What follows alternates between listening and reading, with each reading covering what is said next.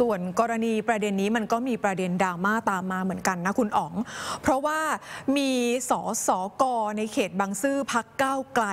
นามสกุลดันไปนามสกุลเดียวกับคนที่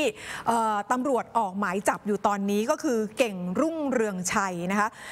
ร้อนถึงกั้นต้องออกมาโพสต์นางสาวพัชราพรเก่งรุ่งเรืองชัยสอกอเขตบางซื่อพักก้าวไกลเนี่ยค่ะก็โพสต์ข้อความผ่าน Facebook เลยบอกว่า วันนี้เนิร์สและสอสอการพัสริน ลงพื้นที่ตรวจสอบโรงงานที่มีกากสารแคดเมียมอยู่ในเขตบางซื่อ ก็ทราบว่าเป็นบริษัทล้อโลหะไทยเมทัลจำกัดอยู่ในซอยเรียงปีชานะคะกากสารแคดเมียมที่เจอก็เป็นรายละเอียดที่เราบอกไปว่าจำนวน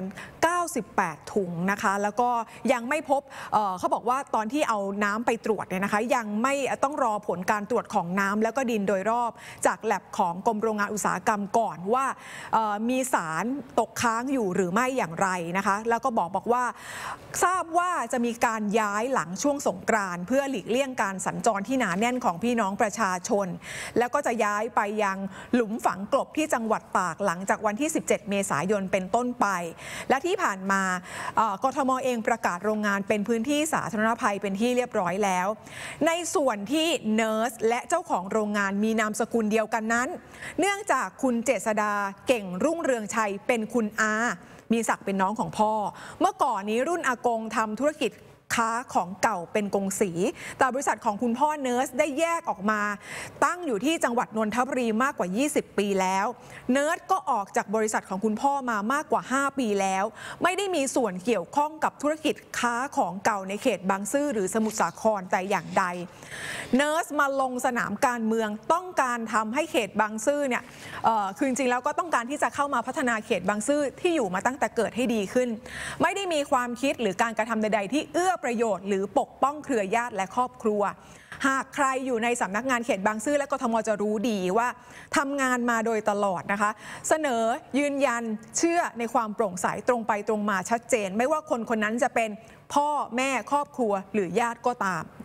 เนิร์สยืนยันว่าสนับสนุนแนวทางของพรรคก้าวไกลเรื่องของการเสนอกฎหมาย PRTR ก็คือกฎหมายเรื่องของการรายงานการปลดปล่อย และเคลื่อนย้ายสารมลพิษสู่สิ่งแวดล้อมด้วย และยิ่งจะเพิ่มความเข้มข้นในการรายงานติดตามตรวจสอบ มากยิ่งขึ้นเพื่อปกป้องและส่งเสริมพัฒนาความปลอดภัยสาธารณะ เธอก็บอกว่าเธอน่าจะไม่สามารถจะเปลี่ยนนามสกุล หรือเลือกที่จะเลิกเป็นญาติตัดญาติกันได้ แต่ก็จะพยายามทำงานเพื่อพิสูจน์ตนเองนะคะ ก็อันนี้ก็เป็นโพสต์ถ้าเกิดว่าเราอยากอ่านรายละเอียดก็ไปอ่านรายละเอียดจากโพสต์ของคุณเนิร์สได้เลยนะคะ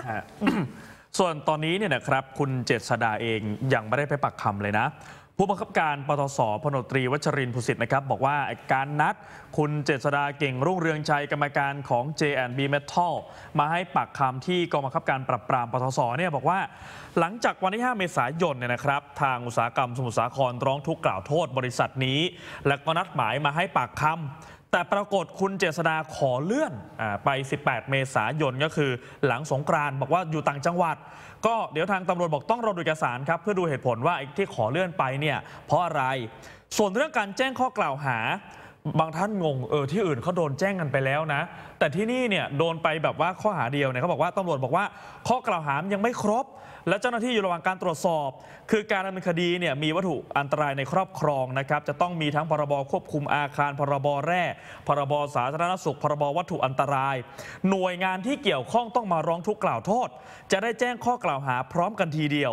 แต่ทีนี้เนี่ยเขาก็ถาม เอ๊ะ แล้วทำไมถึงยังไม่แจ้งข้อกล่าวหาเหมือนรายอื่นๆ ล่ะ ที่ชนบุรีหรือรายอื่นที่สมุทรสาครตำรวจบอก อ๋อ JNB เนี่ยได้รับอนุญาตเป็นปลายทางที่ลงกากของแคดเมียม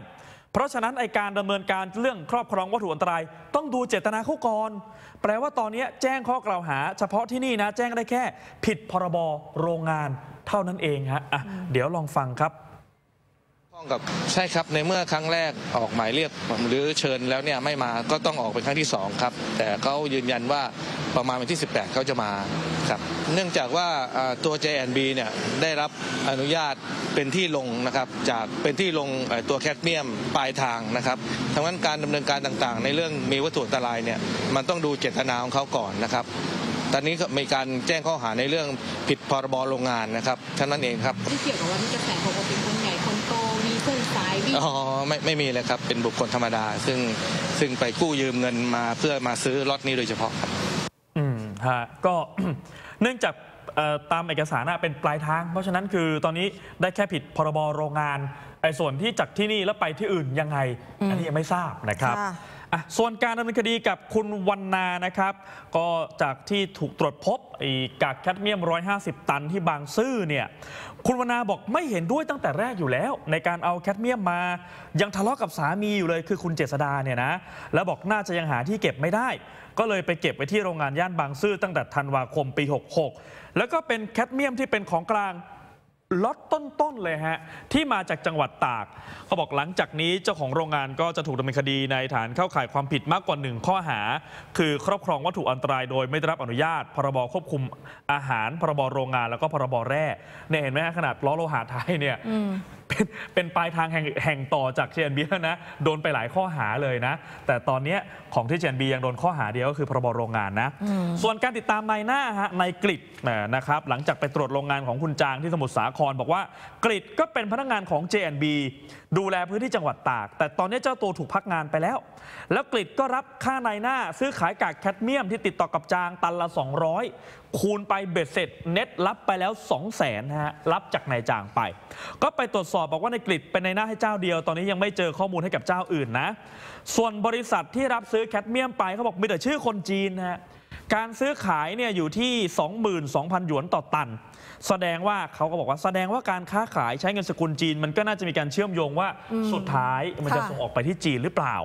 ส่วนตัวเลขกากแคดเมียมที่เหลือประมาณพันตันนะครับทางเจ้าหน้าที่บอกว่าตอนนี้ก็ใกล้เคียงละ หรืออาจจะครบไปแล้วด้วย แต่ก็อยู่ระหว่างการสอบสวน เพราะว่ามันขึ้นอยู่กับการซื้อขาย เพราะเขาบอกกำหนดราคาซื้อขายเนี่ย8,210บาทต่อตัน พอมีการขายก็ต้องช่างใหม่ทั้งหมด อันเนี้ยก็อยู่ระหว่างตรวจสอบข้อได้จริง แต่ว่ามันก็จะง่ายขึ้น ถ้าเขามีเอกสารการซื้อขาย เพราะเวลาช่างตวงวัดเวลาเขาคิดตังค์กันเนี่ยมันต้องคิดแล้วลงบัญชี ถ้าดูจากตรงนี้ก็น่าจะไปไล่ตามได้ว่า ครบไม่ครบก็ตรวจสอบกับของในสต็อกที่มันยังเหลือแบบเนี้ยฮะค่ะ